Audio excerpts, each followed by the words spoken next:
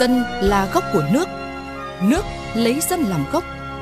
Đây là một trong những truyền thống tốt đẹp, vô cùng quý báu của dân tộc Việt Nam đã được Chủ tịch Hồ Chí Minh kế thừa, vận dụng và phát triển sáng tạo hết sức hiệu quả trong suốt cuộc đời hoạt động cách mạng của mình. Vì độc lập tự do của Tổ quốc, vì ấm no hạnh phúc của nhân dân.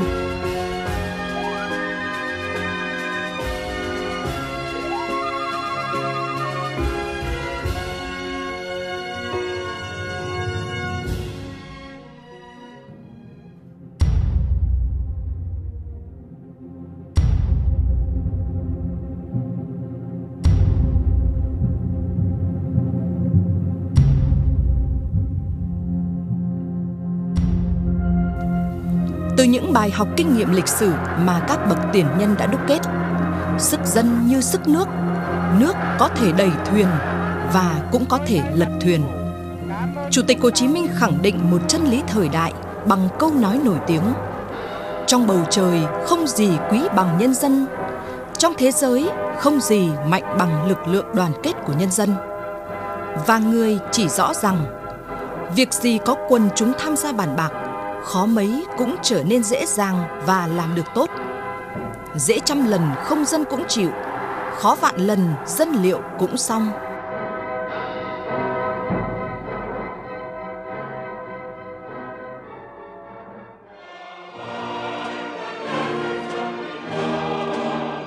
Luôn đặt nhân dân ở vị trí trung tâm của cách mạng,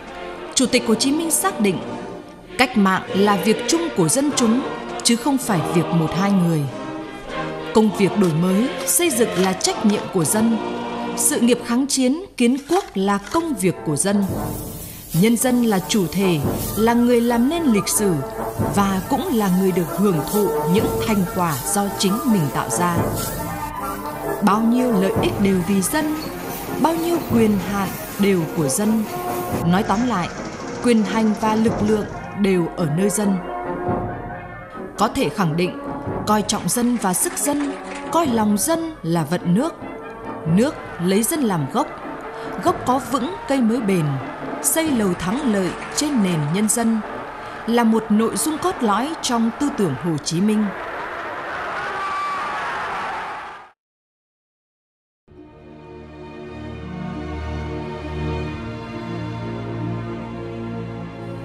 Trước lúc đi xa, người còn căn dặn toàn đảng, toàn dân và toàn quân ta phải nhận thức rõ sự nghiệp cách mạng. Đó là một cuộc chiến đấu chống lại những gì đã cũ kỹ, hư hỏng để tạo ra những cái mới mẻ, tốt tươi dựa vào lực lượng vĩ đại của toàn dân.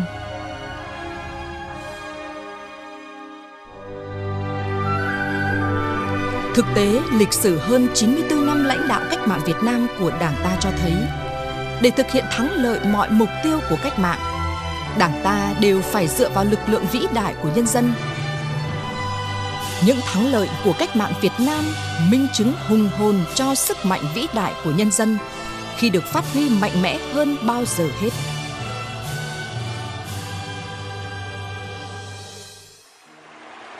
Trong cách mạng tháng 8 năm 1945, dưới ngọn cờ của Đảng và Mặt trận Việt Minh, sự lãnh đạo tài tình của lãnh tụ Hồ Chí Minh, tinh thần yêu nước, ý chí tự lực tự cường và sức mạnh rời non lấp bể của nhân dân ta được nhân lên gấp bội. Nhờ đó, sức mạnh của toàn dân tộc đã như chiều dâng thác đổ trong cuộc tổng khởi nghĩa, lật nhào chế độ thực dân và phong kiến, giành chính quyền về tay nhân dân, đưa người dân từ thân phận nô lệ trở thành người làm chủ nước nhà, làm chủ chế độ mới. Cuộc kháng chiến chống thực dân Pháp xâm lược 1945-1954, đề cao tư tưởng dân là gốc với đường lối kháng chiến toàn dân, toàn diện dựa vào sức mạnh thần kỳ của nhân dân. Chủ tịch Hồ Chí Minh và Đảng ta đã động viên toàn dân tổ chức lực lượng toàn dân vừa kháng chiến vừa kiến quốc, vừa xây dựng chế độ dân chủ nhân dân sức mạnh của nhân dân được biểu thị thành các phong trào thi đua ái quốc rộng lớn trên khắp các lĩnh vực, từ phong trào quỹ độc lập, tuần lễ vàng để gây ngân quỹ quốc gia, phong trào ngày đồng tâm, hũ gạo cứu đói và tăng gia sản xuất, thực hành tiết kiệm, để giải quyết nạn đói và ổn định đời sống nhân dân, phát triển nền kinh tế. Phong trào bình dân học vụ xóa mù chữ, nâng cao trình độ dân trí. Cuộc vận động đời sống mới để xây dựng nền văn hóa mới. Phong trào toàn dân đánh giặc, thi đua giết giặc lập công. Mỗi quốc dân là một chiến sĩ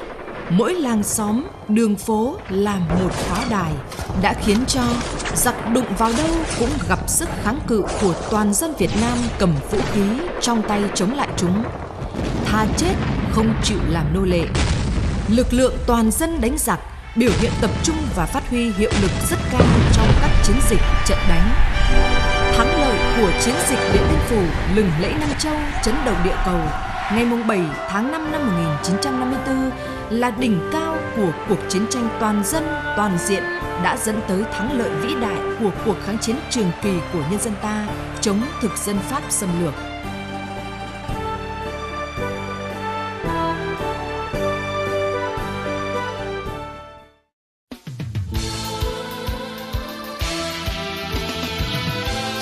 21 năm kháng chiến chống Mỹ cứu nước đầy gian khổ hy sinh 1954-1975 Dương cao chân lý Không có gì quý hơn độc lập tự do. Chủ tịch Hồ Chí Minh và Đảng ta đã tổ chức tài tình lực lượng cả nước đánh giặc. Lấy trí nhân thay cường bạo Lấy nhỏ thắng lớn Lấy ít địch nhiều Càng đánh càng mạnh. Chiến tranh nhân dân trên cả hai miền Nam, Bắc đã được nâng lên tầm cao mới. Cả nước là một khối đoàn kết thống nhất. Sức mạnh toàn dân tộc kết tụ trong các phong trào thi đua yêu nước của các ngành, các giới, điển hình như phong trào gió đại phong trên mặt trận nông nghiệp, sóng duyên hải trên mặt trận công nghiệp, cờ ba nhất trong quân đội, chống Bắc Lý trong giáo dục, ba sẵn sàng của thanh niên, ba đảm đang của phụ nữ, mỗi người làm việc bằng hai vì miền Nam ruột thịt. Tất cả cho tiền tuyến, tất cả để đánh thắng giặc Mỹ xâm lược đánh cho Mỹ cút, đánh cho Ngụy Nhà, giải phóng miền Nam, thống nhất đất nước, đưa cả nước đi lên chủ nghĩa xã hội.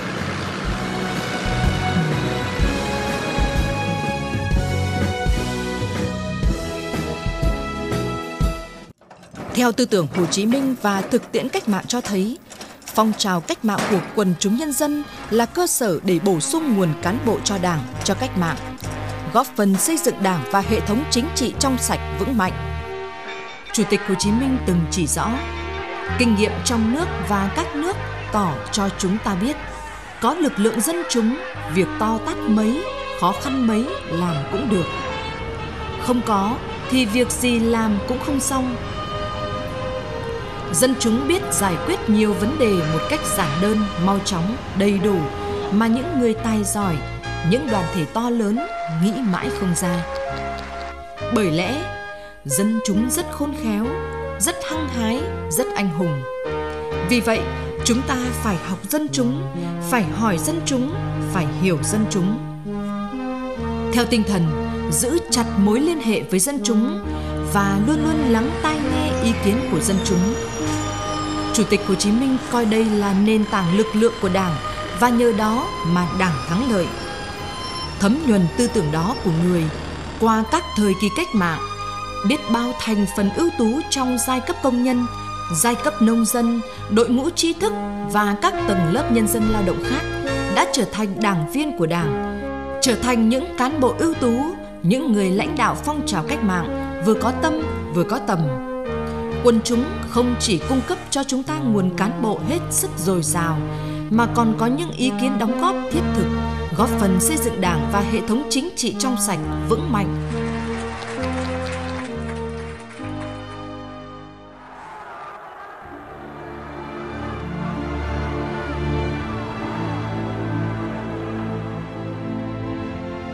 Với vai trò là nền tảng tư tưởng của Đảng, kim chỉ nam cho hành động cách mạng, tư tưởng Hồ Chí Minh trong đó có hệ quan điểm thân dân, thương dân, trọng dân, dựa vào sức mạnh của nhân dân để thực hiện mục tiêu, nhiệm vụ của cách mạng đã được Đảng ta vận dụng, phát triển một cách sáng tạo và đạt được những thành tựu hết sức to lớn. các cương lĩnh cách mạng của Đảng ta đã nhiều lần tiếp tục khẳng định vị trí, vai trò, sức mạnh của nhân dân trong sự nghiệp cách mạng. Đây là tư tưởng chỉ đạo mang tính chiến lược xuyên suốt của Đảng ta.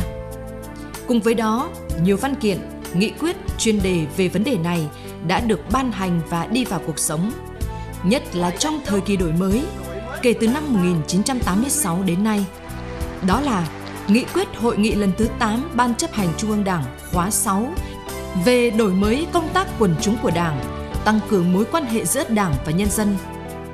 Nghị quyết của Bộ Chính trị về đại đoàn kết dân tộc và tăng cường mặt trận dân tộc thống nhất. Nghị quyết Hội nghị lần thứ 7 Ban chấp hành Trung ương Đảng khóa 9 về phát huy sức mạnh đại đoàn kết dân tộc vì dân giàu, nước mạnh, xã hội công bằng, dân chủ, văn minh. Kết luận số 62 của Bộ Chính trị khóa 10 về tiếp tục đổi mới nội dung, phương thức hoạt động của Mặt trận Tổ quốc Việt Nam và đoàn thể chính trị xã hội. Và gần đây là nghị quyết hội nghị lần thứ 8 của Ban chấp hành Trung ương Đảng khóa 13 về tiếp tục phát huy truyền thống sức mạnh đại đoàn kết toàn dân tộc, xây dựng đất nước ta ngày càng phồn vinh, hạnh phúc, Cương lĩnh xây dựng đất nước trong thời kỳ quá độ lên chủ nghĩa xã hội năm 1991, bổ sung phát triển năm 2011 khẳng định sự nghiệp cách mạng là của nhân dân, do nhân dân và vì nhân dân. Chính nhân dân là người làm nên những thắng lợi lịch sử.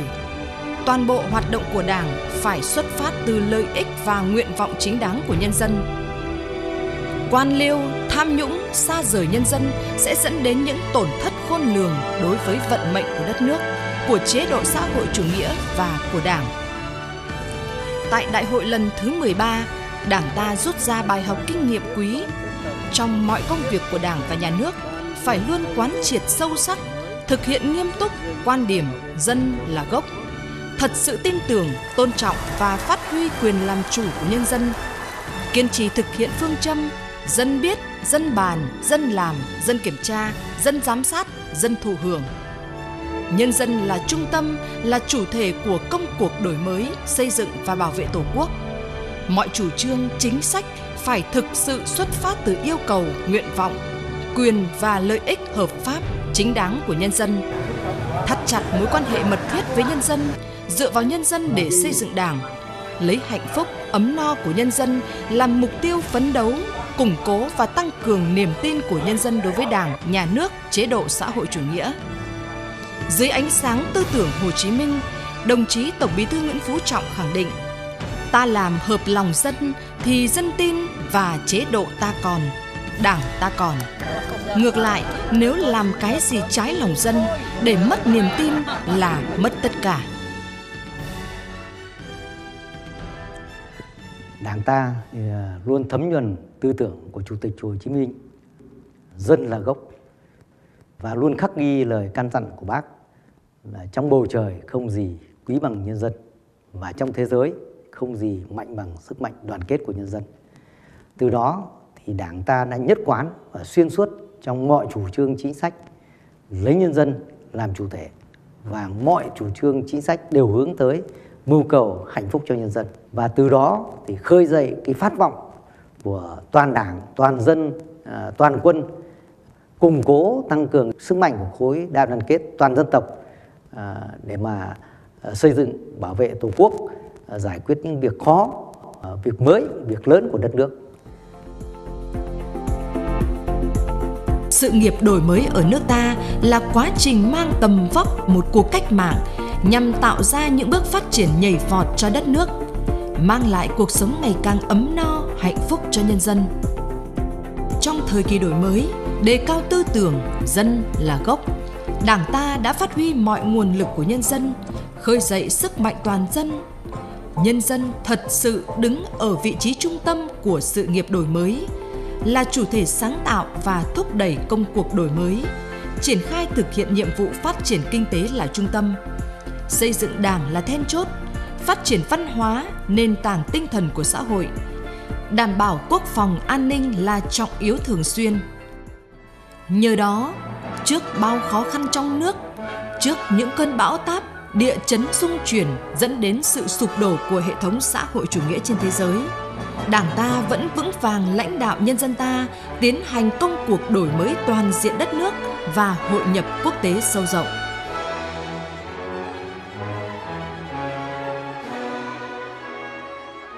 Thành phố Buôn Ma Thuột đang phát triển và người hưởng lợi đầu tiên là buôn A Có Thôn. Buôn chúng tôi là buôn theo công giáo và hiện tại chúng tôi được nhà nước cấp cho xây nhà thờ rất lớn mà không những trong giáo xứ chúng tôi được xây dựng mà hiện tại là cả như huyện Eka cũng như huyện Cư Nga, đa nhà nước đang cho xây nhà thờ. Đó là điểm nhấn của tự do, tôn giáo cũng như là đại đoàn kết các dân tộc. Buôn Ma Thuột đang xây dựng cao tốc Nha Trang, thành phố Buôn Ma Thuột và chính cái điều đó là có lợi cho dân chúng tôi là những cái mặt hàng về nông nghiệp là được xuất khẩu, phát triển về du lịch cộng đồng. Và chúng tôi sẽ có những cuộc sống tốt đẹp hơn. Những năm đổi mới, dựa vào lực lượng vĩ đại của nhân dân để xây dựng và bảo vệ tổ quốc. Vai trò của nhân dân được phát huy mạnh mẽ qua các phong trào thi đua yêu nước, góp phần quan trọng thực hiện thắng lợi các mục tiêu, nhiệm vụ phát triển kinh tế xã hội. Đó là các phong trào toàn dân đoàn kết xây dựng đời sống văn hóa, cả nước chung tay vì người nghèo, không để ai bị bỏ lại phía sau. Toàn dân bảo vệ an ninh tổ quốc. Phong trào thi đua lao động giỏi, lao động sáng tạo, nông dân thi đua sản xuất, kinh doanh giỏi, đoàn kết giúp nhau làm giàu và giảm nghèo bền vững. Phụ nữ tích cực học tập, lao động, sáng tạo xây dựng gia đình hạnh phúc. Cựu chiến binh gương mẫu, dạy tốt, học tốt, vì an ninh Tổ quốc, thi đua quyết thắng. Đó là sự chung sức đồng lòng của nhân dân trong thực hiện chiến lược xây dựng nông thôn mới. Đặc biệt, trong phòng chống đại dịch COVID-19 và phòng chống thiên tai, sức mạnh của cả hệ thống chính trị, của nhân dân với những nghĩa cử cao đẹp, hành động dũng cảm, sẵn sàng xả thân để bảo vệ tính mạng và cuộc sống bình yên của đồng bào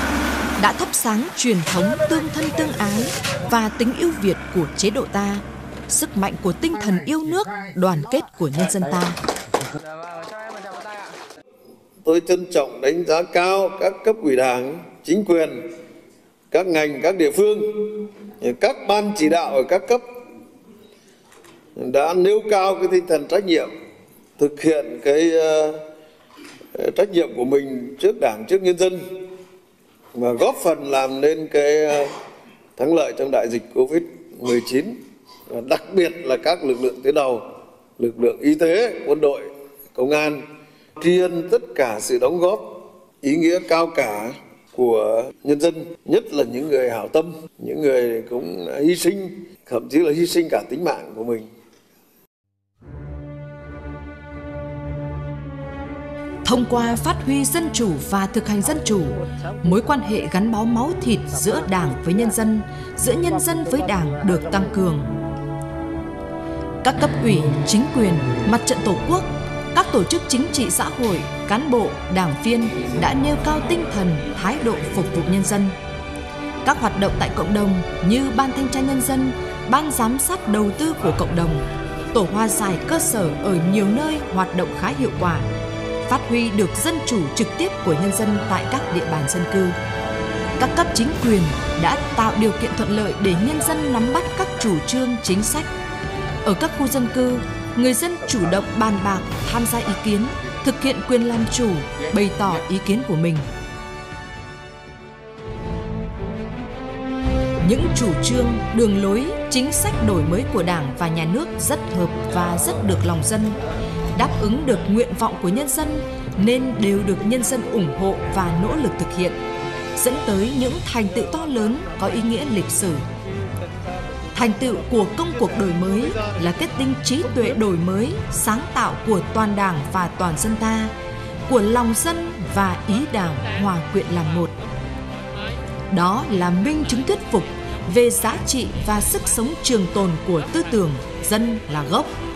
Động lực của đổi mới và phát triển chính là nhân dân. Nhân dân là một trong những nhân tố có ý nghĩa quyết định thắng lợi của cách mạng Việt Nam, của công cuộc đổi mới đất nước.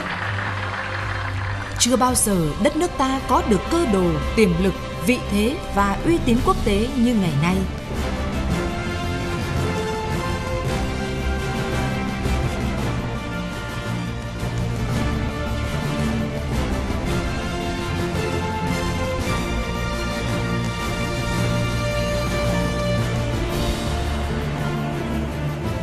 Bên cạnh những kết quả đạt được trong việc phát huy sức mạnh của nhân dân và trong việc đề cao vai trò chủ thể, vị trí trung tâm của nhân dân trong chiến lược phát triển đất nước, trong toàn bộ quá trình xây dựng và bảo vệ Tổ quốc, thì hiện nay chúng ta vẫn còn không ít hạn chế, vướng mắc cần tháo gỡ. Phát biểu trong buổi tiếp xúc cử tri Hà Nội ngày 14 tháng 10 năm 2023, đồng chí Tổng Bí thư Nguyễn Phú Trọng có nói: Lâu nay, nhiều nơi cứ nói là thực hiện dân chủ, nhưng thực chất là người đứng đầu cơ quan, đơn vị ở đó vẫn mượn danh hoặc nhân danh tập thể để hợp thức hóa những quyết định, ý chí chủ quan của cá nhân mình. Một số người có chức, có quyền, còn quan cách, gia trưởng, thậm chí có những cá nhân và tập thể tru dập, ức hiếp quần chúng. Đây chính là những rào cản ảnh hưởng rất lớn đến việc đề cao vai trò chủ thể, vị trí trung tâm của nhân dân trong toàn bộ quá trình xây dựng và bảo vệ Tổ quốc. Để khắc phục tình trạng trên, trước mắt cần phải thực hiện nghiêm túc việc tiếp công dân, tăng cường đối thoại, giải quyết những kiến nghị, nguyện vọng hợp pháp, chính đáng của nhân dân, đặc biệt là giải quyết kịp thời các đơn thư khiếu nại, tố cáo, không để phát sinh các điểm nóng, vụ việc phức tạp kéo dài. Đồng thời phải biết dựa vào dân, lắng nghe dân, cái gì mà quần chúng nhân dân hoan nghênh, ủng hộ thì chúng ta phải quyết tâm làm và làm cho bằng được. Ngược lại, cái gì nhân dân không đồng tình, thậm chí căm ghét, phản đối thì chúng ta phải cương quyết ngăn ngừa, uốn nắn và xử lý nghiêm các sai phạm. Bên cạnh đó, phải phát huy mạnh mẽ vai trò sáng tạo, sự ủng hộ và tham gia tích cực của nhân dân. Nhân dân tiếp nhận, ủng hộ và nhiệt tình tham gia thực hiện đường lối lãnh đạo của Đảng, vì thấy đường lối đó đáp ứng đúng yêu cầu nguyện vọng của mình. Sức mạnh của nhân dân là cội nguồn sâu xa của thắng lợi, của phát triển. Trong cái bối cảnh hiện nay, khi mà đất nước ngày càng hội nhập quốc tế sâu rộng, cùng với sự phát triển ờ, rất là nhanh của khoa học công nghệ, thì thanh niên Việt Nam cũng cần phải có cái sự ờ, trau dồi, rèn luyện và trang bị cho mình những hành trang để có thể thực hiện tốt các nhiệm vụ của mình trong cái thời gian tới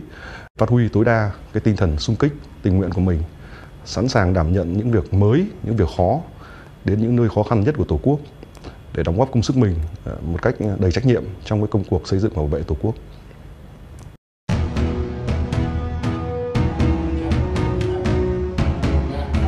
Hiện nay, toàn Đảng, toàn dân và toàn quân ta đã trải qua hơn nửa nhiệm kỳ thực hiện có hiệu quả nghị quyết đại hội lần thứ 13 của Đảng và quyết tâm nỗ lực phấn đấu hoàn thành thắng lợi nghị quyết đại hội trong những năm còn lại của nhiệm kỳ. Năm 2026, Đảng ta sẽ tiến hành Đại hội đại biểu toàn quốc lần thứ 14. Đây là một sự kiện chính trị có ý nghĩa rất quan trọng về nhiều mặt. Đại hội có nhiệm vụ đi sâu kiểm điểm việc thực hiện nghị quyết Đại hội 13, tổng kết 40 năm đổi mới đất nước. Từ đó rút ra những bài học quan trọng xác định phương hướng, mục tiêu, nhiệm vụ của đất nước ta trong giai đoạn 2026-2030, đề ra các giải pháp tiếp tục thực hiện thắng lợi chiến lược phát triển kinh tế xã hội 10 năm 2021-2030, đáp ứng yêu cầu xây dựng và bảo vệ Tổ quốc trong tình hình mới.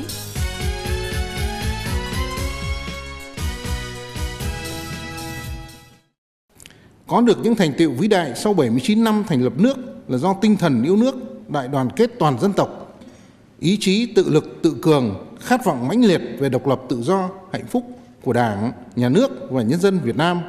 Đồng thời, dưới sự lãnh đạo sáng suốt tài tình của Đảng Cộng sản Việt Nam, một đảng luôn lấy việc phục vụ nhân dân làm lẽ sống và mục tiêu phấn đấu luôn trung thành tuyệt đối và vô hạn với lợi ích của dân tộc, của nhân dân, như lời Chủ tịch Hồ Chí Minh Ngoài lợi ích của Tổ quốc, của nhân dân, Đảng ta không có lợi ích gì khác. Đã chào lái con thuyền cách mạng đưa đất nước Việt Nam vượt qua mọi thác gành, lập lên nhiều kỳ tích.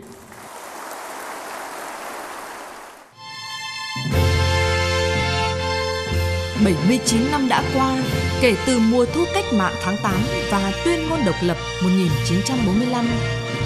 55 năm thực hiện di trúc của Chủ tịch Hồ Chí Minh về phát huy sức mạnh của nhân dân đất nước ta đang đứng trước bước ngoặt lịch sử trên con đường đổi mới và phát triển để đi tới tương lai tươi sáng. Phát huy khí thế mùa thu cách mạng với lời thề tuyên ngôn độc lập, tiếp tục dương cao ngọn cờ tư tưởng Hồ Chí Minh để bảo vệ và phát triển thành quả cách mạng mà bao thế hệ cán bộ, đảng viên và nhân dân ta đã phấn đấu, hy sinh gian khổ mới tạo dựng nên. Với niềm tự hào to lớn trước những thành tựu mà đất nước ta đạt được, dưới sự lãnh đạo của Đảng và dựa vào sức mạnh vĩ đại của toàn dân, toàn Đảng, toàn dân và toàn quân ta tiếp tục đẩy mạnh học tập và làm theo tư tưởng đạo đức phong cách Hồ Chí Minh. Tiếp tục phát huy mạnh mẽ nền dân chủ xã hội chủ nghĩa, thực hiện thật tốt phương châm dân biết, dân bàn, dân làm, dân kiểm tra, dân giám sát, dân thụ hưởng. Dựa vào dân, đem hết tinh thần và lực lượng, ý chí tự lực tự cường, lòng yêu nước, trí tuệ và sức mạnh vô tận của nhân dân để hiện thực hóa khát vọng xây dựng đất nước Việt Nam giàu mạnh, dân chủ, phồn vinh, văn minh, hạnh phúc. Vững bước trên con đường mà Đảng, Bác Hồ và dân tộc ta đã lựa chọn.